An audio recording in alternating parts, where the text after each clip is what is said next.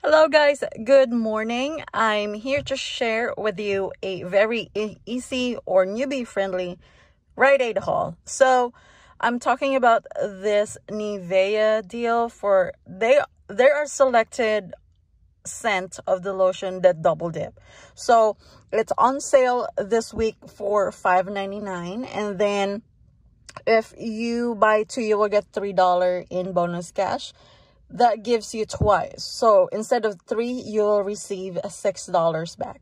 So the good thing here is this intense healing um kind gives you a dollar fifty back on checkout 51 and there's a limit of five.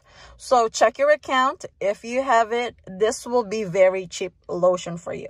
The reason why i grabbed this one because i had a friend that wants this ah, specifically so that's why. Okay so if you want to see my receipt this is how it look like and then I have another good news. We have a new load to card coupon for $2. So go ahead and check your account. Load that before you shop. So if you grab two, you will pay $9.98. Our taxes will vary per state. And then you will receive $6 in bonus cash.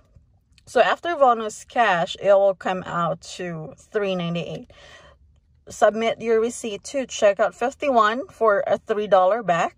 Okay. So final cost for both is 98 cents or 50 cents a lotion, which is not bad if you're considering the full price for this is expensive. So 1049 869 that's a lot of money so yeah guys check out your account uh, check out 51 account and your Rite Aid account load a coupon and pick up two items and you're all set. All right, have a nice day. Bye.